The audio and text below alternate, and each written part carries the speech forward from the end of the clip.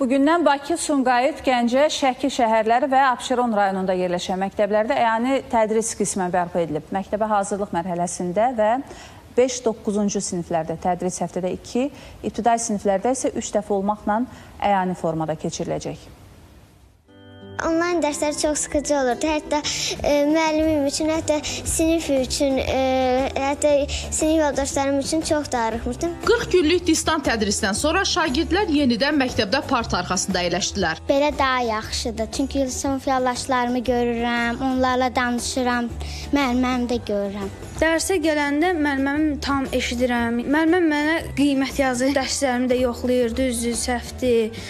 Yəni onlayn dərsdə amma heç yoxlaya bilmirəm. Amma onlar məktəbə hər gün getməyəcəklər. Karantin rejimi qaydalarına uyğun olaraq şagirdlər iki qrupa bölünüb. Əvvəlki ə, qaydada sağlam həyatla ə, artıq bir neçə gün dərsə gəlmək yox, ümumilikdə biz e, bütün həftə boyu öz dərslərimizi davam etdirmək arzusundayıq hər birimiz. Bakı şəhəri üzrə təhsil idarəsindən bildirildi ki, övladını məktəbə göndərmək istəməyən valideynlər isə iltizam imzalamalıdılar. Məktəblərdə summativ qiymətləndirmə birinci yarım ildə olduğu kimi bir dəfə keçiriləcək. Bu dəfə şagirdlər əyani şəkildə qiymətləndirməyə qatılacaq. 2-ci 9-cu siniflərdə qiymətləndirmə əyani şəkildə aparılacaq. İltizam yazan ə, şagirdlər belə imtahana ə, cəlb olunacaqlar.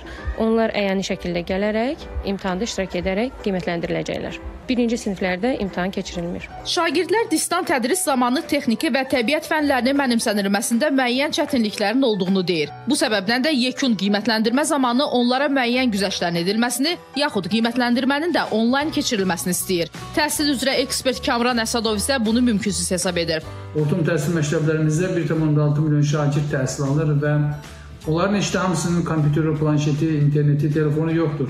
Sürətli alətləri yoxdur ki, onlar rahatlıqla onlayn qiymətləndirmədə iştirak etsinlər. Təbii ki, yuxarı sinif şagirdlərinin, xüsusən 10-cu 11-ci sinif şagirdlərinin biliklərinin onlayn qaydada qiymətləndirməsi mümkündür. Amma bu aşağı siniflərdə mümkün deyil. Çünki bir sıra kompetensiyalar var ki, onların onlayn qaydada yoxlanılıb ölçülməsi mümkün deyil.